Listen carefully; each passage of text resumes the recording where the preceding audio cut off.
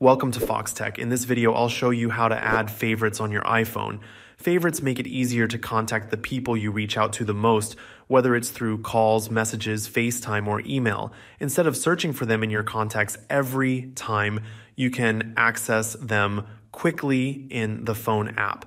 Let's go through the steps. Start by opening the phone app and tapping the Favorites tab at the bottom.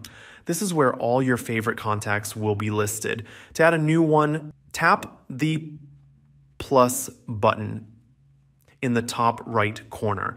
A search bar will appear. Type in the name of the person you want to add, then select them from your contacts list. Once you've selected a contact, you'll be given options for how you want to favorite them.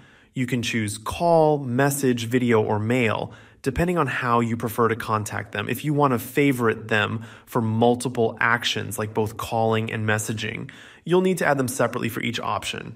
After making your selection, tap Done, and the contact will now appear in your favorites list. If you want to reorder your favorites, tap Edit in the top right corner. You'll see a three line icon next to each contact. Press and hold it, then drag the contact to your preferred position in the list.